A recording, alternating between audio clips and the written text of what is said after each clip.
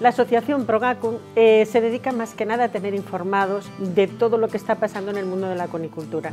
En el año 96 decidimos montar esta granja. Trabajar con conejos es muy laborioso y muy artesanal. Estamos hablando de un animal que es muy delicado, que necesita muchas horas, necesita más cuidado que cualquier otro animal.